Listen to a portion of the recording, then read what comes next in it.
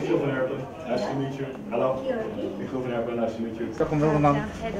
2015 წლიდან საქართველოს მთავრობა და იუსტიციის სამინისტრო ყველაფერს აკეთებს იმისთვის, რომ საქართველოში არსებობდეს არა მხოლოდ ევროპული არასრულწლოვანთა მართლმსაჯულების კოდექსი, არამედ მთლიანად სისტემა სისხლის სამართლის ბავშვთა სფეროში იყოს ევროპული სტილის და ზოგ შემთხვევაში უფრო დაწინაურებულიც და პროგრესულიც ვიდრე ზოგიერთ ევროპულ ქვეყანაშია.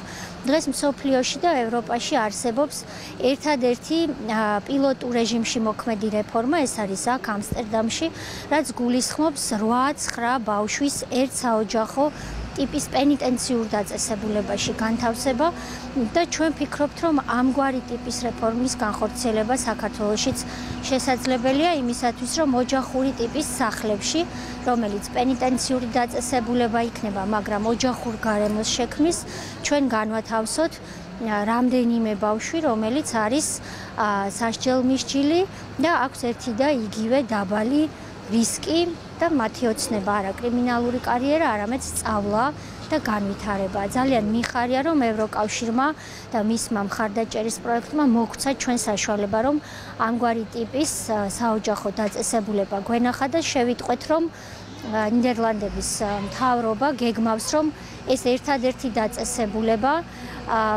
განავრცოს მთელს ჰოლანდიაში და რამდენიმე ამგვარი ტიპის საოჯახო სახლი გახსნას, რაც ჩვენთვის კიდევ უფრო საინტერესოს ხდის ამ პროექტს.